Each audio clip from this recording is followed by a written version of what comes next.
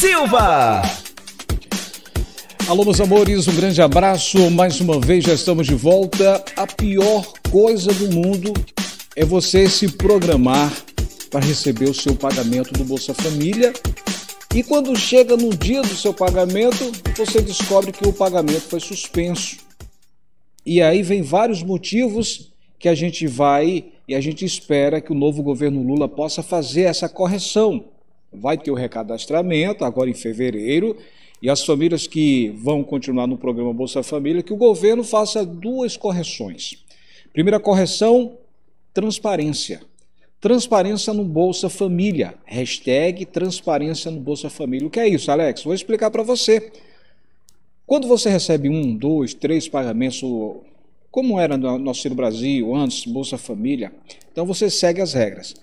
Aí, de repente, chega no mês, você vai receber tem gente que acontece isso, o pagamento está suspenso. Como assim? Suspenso. E não há transparência, não houve comunicação, você não recebeu um aviso, não recebeu uma notificação. As pessoas ficam assim, ó, as famílias desesperadas porque têm comida para comprar, os filhos com fome. Aí corre no CRAS para atualizar, um erro bobo, às vezes uma coisa tão simples, aí faz, só que o pagamento não é liberado, tem que esperar um mês. Tem que ser feita essa correção. Se há algum tipo de erro, se a pessoa já vem pagando, o governo vem pagando um mês, dois meses, três meses, direitinho, de repente suspende, cadê o aviso? Ah, mas é porque esse beneficiário conseguiu, né? Um bico, conseguiu uma fonte maior e está ganhando mais, a gente descobriu que está irregular e aí suspendeu. Como assim? Não, mas é a regra que diz que tem que suspender. Avise. Vocês concordam com isso? Quem concorda com isso, coloca aqui, hashtag transparência no bolsa, hashtag transparência no bolsa. Eu já vi alguns, bene, alguns beneficiários dizendo, Alex, eu sigo as regras, aí meu pagamento, meu pagamento eu cheguei para receber foi suspenso. Como eu falei, né, você disse, vai no CRAS, atualiza, né, se tiver tudo em ordem, eles vão liberar. Aí fiz essa atualização, esperei um mês, aí voltou a liberar, só que não pagou aquele retroativo. Mas eu voltei a receber. Quem ficou no prejuízo? O beneficiário. É justo isso? O novo governo, atenção governo Lula, atenção ministro Elton Dias, tem que fazer isso. Se a pessoa segue as regras, segue no programa. De três, quatro, cinco, seis meses a pessoa já vem recebendo normalmente. Aí de repente a pessoa chega lá para receber o benefício, está suspenso. Não sabe por quê, qual foi o motivo, o governo não avisou nada. É errado. Tem que ter um aviso, chegar e te mandar uma notificação antes, ó. Você precisa atualizar suas informações. Não está fazendo isso agora com o pessoal do que mora só? Agora está acontecendo aí a notificação. Não cortou ninguém. E está mandando aviso. Então, que isso deve acontecer também nos próximos meses. Se for para cortar, primeiro aviso, ó, atualize para a gente rever a sua situação. Se tiver tudo em ordem, segue. Agora, cortar sem avisar, essa é a questão. Hashtag transparência no Bolsa, transparência do Bolsa. Vamos cobrar isso. Alguns parlamentares é, devem cobrar isso também, né? para não cortar qualquer pessoa, gente. Chega assim, corta e pronto. Não, tudo bem, a pessoa que segue, segue as regras continua. Mas às vezes a pessoa suspende o pagamento porque está na dúvida, não avisou nada. Agora, em janeiro aí, ó, 5 milhões de pessoas que moram só estão sendo avisadas. Já pensou se essas pessoas fossem cortadas agora? Todo mundo está cortado, vão no CRAS, atualiza, se der tudo certo, recebe em fevereiro ou março. Então é isso que a gente quer. Transparência, transparência no bolso, tá? Segundo ponto, aplicativo. Todo mundo está reclamando desse esse aplicativo Caixa Tem, esse abençoado. Meu Deus do céu, gente. Durante o governo Bolsonaro inventaram esse aplicativo Caixa Tem, que é muito bom, quando está funcionando é muito bom, tá? Paga FGTS, paga o Auxílio Brasil, paga o Auxílio Emergencial, é, enfim, está pagando agora o Bolsa Família. Agora, ele tem que ser atualizado de uma forma que quando sair a liberação da atualização, sai para todo mundo. O que é que está acontecendo?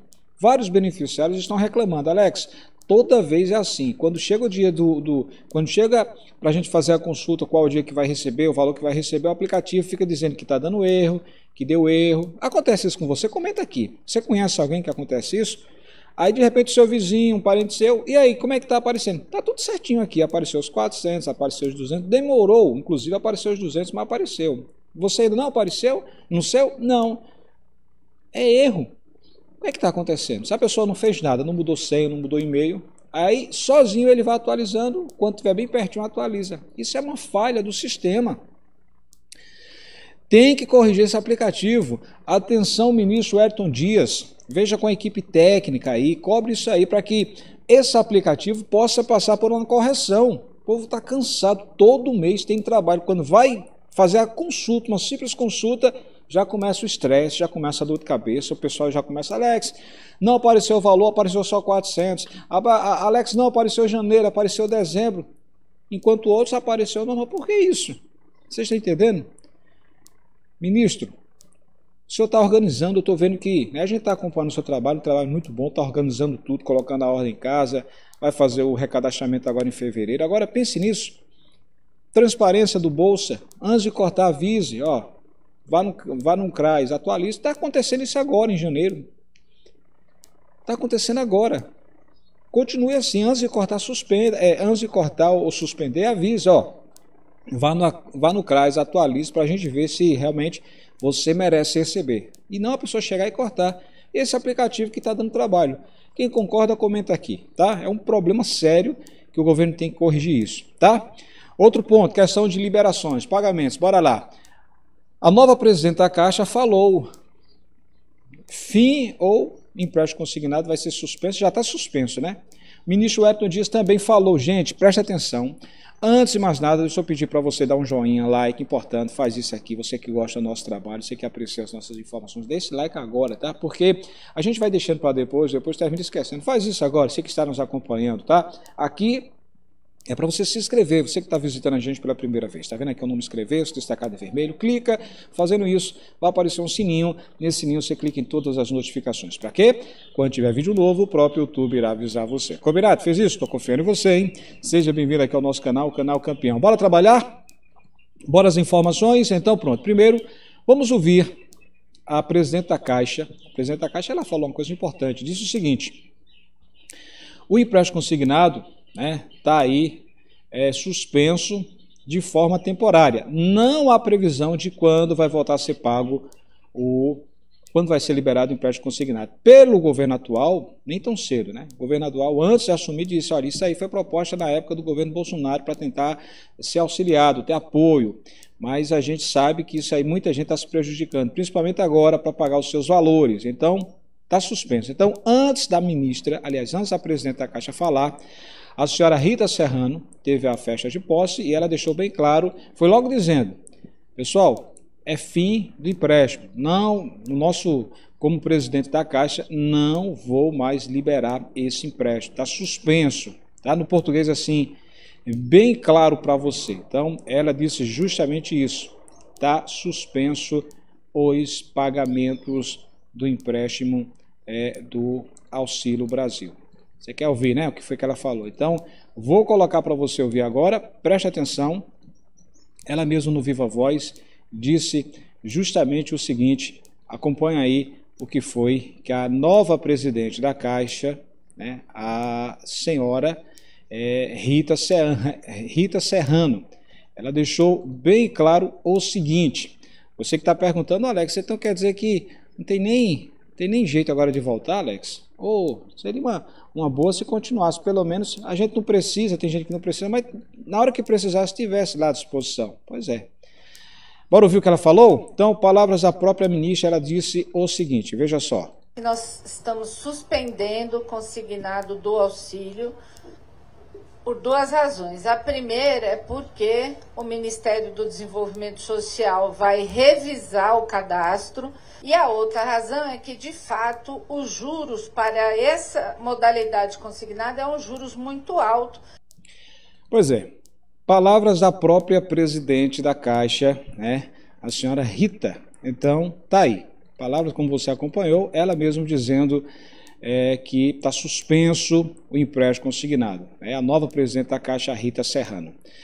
Ah, o, preste atenção agora o que disse o ministro Wellington Dias. O ministro Wellington Dias ele deu uma entrevista e durante essa entrevista ele falou sobre o Bolsa Família, né? falou sobre as regras e tem muita, muita informação para você. Eu quero que você acompanhe tudo, tá certo? Preste bastante atenção porque ele falou de vários pontos, é importante você ficar atento. ele disse justamente o seguinte: acompanhe palavras do ministro Wellington Dias. Preste atenção, porque tem muita gente que pega só o início da entrevista, aí fica voando depois, tá? Então, acompanhe o que foi que ele disse. Você faz parte do Bolsa Família, olha só. Nós vamos ter as condições de, em fevereiro, é, já iniciar as condições de ter a entrada não é, da, de pessoas que estão fora do Bolsa Família e também já iniciar a liberação dos cartões com o pagamento dos 150 reais com base nessa atualização cadastral.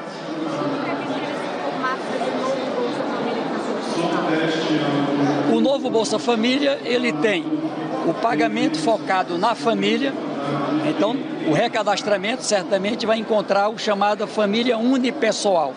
Né? Nós olhamos lá, são cerca de 10 milhões no meio de é, 40 milhões de famílias que estão no cadastro único. Nós temos uma parte considerável que estará é, passando pelo crivo dessa atualização, são cerca de 10 milhões.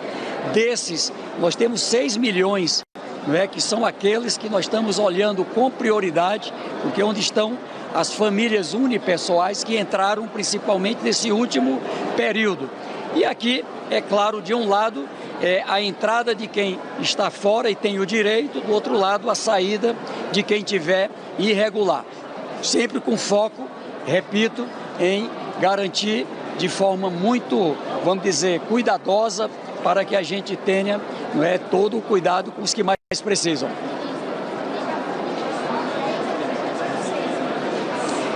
São 10 milhões que a gente acredita que tem indícios de irregularidades.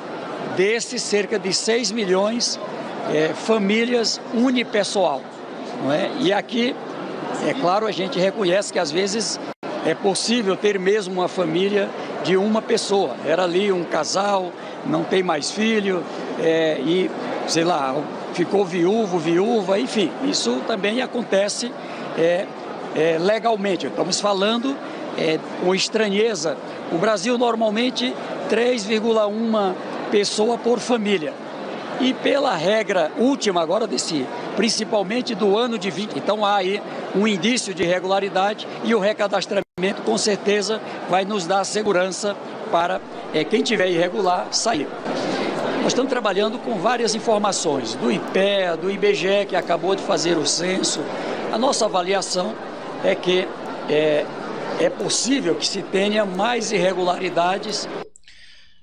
Pois é, como você acompanhou, né, o próprio ministro falando, o ministro Wellington Dias deixou bem claro em que há casos em que pessoas que moram só, né, que declararam, em que se declararam unipessoais, né, antes, como ele falou, era uma família, que era a esposa, de repente o marido, né, com o companheiro ou companheiro e o filho. Né? O filho de repente cresceu, saiu, e aí um dos cônjuges morreu e aí ficou viúvo ou viúva. Nesse caso aí, por isso que tem muitas famílias que vão continuar recebendo Bolsa Família mesmo de, de ter feito aí a sua atualização dizendo que mora só, que é unipessoal. Nesse caso, por isso que vai ter um espaço, um tempo para que possa ser confirmado. Mas ela deixou bem claro, são 10 milhões de pessoas suspeitas de que podem estar irregulares. Mas aí é aquela coisa, segue as regras, depois do recadastramento de fevereiro, continua recebendo. Se não seguir as regras, será cortado. Beleza? Ó, oh, já foi certo, já, eu já falei isso, os pagamentos dos 150 reais por criança começa em março, dia 20, dia 20, final do mês 1. O empréstimo consignado está encostado, está suspenso, ninguém sabe quando volta. Provavelmente no governo Lula não volta mais, a não ser que o presidente Lula volte atrás e diz: não, vamos liberar, vai depender muito da questão da economia. Economia é essa em que o ministro Fernando Haddad ele deu uma canetada nessa semana e aí a bolsa, né, as bolsas subiram, o dólar caiu, ou seja, investidores acharam muito, muito bom o que ele fez. Né, e aí as mudanças na economia devem surtir efeito. Por isso é algo que hoje a Caixa está precisando também de dinheiro. Né? E aí, como liberou 9 bilhões e meio de reais, quer que essas pessoas, por exemplo, tem muita gente aí que está devendo uma conta de luz. Por isso que o presidente Lula falou durante a entrevista que é lamentável uma pessoa devendo uma conta de luz não poder estar tá com o nome sujo no Serasa, no SPC, sei lá. Tá com a conta de, de, de, água, atrasou, aí o pessoal já coloca lá.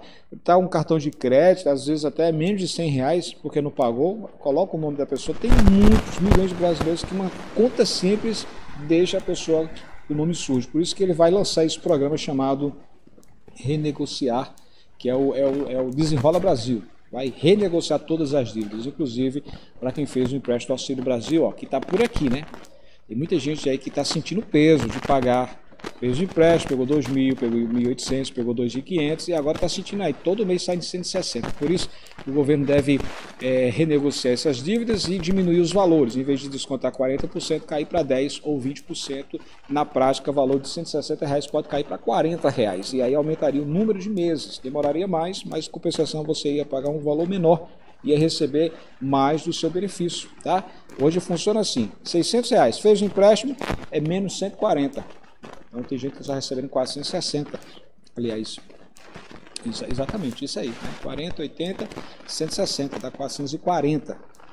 Nesse caso aí, se o governo confirmar essa renegociação de 10% ou 20%, se ficar em 10%, ficaria um desconto só de 40 reais. Ou seja, em vez de você é, de 600 estar recebendo 440, ficará recebendo 4, é, 560 e descontaria 40 reais. Se for 20%, 80 reais ficaria descontando 520 reais. Essa é a tendência que deve acontecer, tá bom? Ó, se você ficou com alguma dúvida, como esse vídeo vai ficar gravado, você volta a partezinha que você não entendeu, beleza? Compartilhe esse vídeo no seu grupo do WhatsApp, linha do tempo do Facebook. Importante que mais pessoas sejam alcançadas com essas informações. O empréstimo acabou, o Vale Gás continua, não vai acabar o Vale Gás, 36 meses, o governo tem que pagar, mês sim, mês não, mês de fevereiro 100%, se o presidente Lula e o ministro Hélio Dias aqui resolver ter sensibilidade e aceitar abrir novas vagas, mesmo sem ter dinheiro, teria que dividir esse valor. Em vez de pagar 100, pagaria 50%. Em vez de pagar 5 milhões de 950 mil, pagaria quase 12 milhões de pessoas. Ou seja, hashtag quero Vale Gás no Bolsa Família. Você que nunca recebeu Vale Gás, participa da campanha. Hashtag quero Vale Gás no Bolsa Família. Quero Vale Gás no Bolsa Família. Tá? Tô lá no Instagram, blog Alex Silva. Um dia abençoado, segue a gente lá. Valeu, pessoal. Tchau, tchau.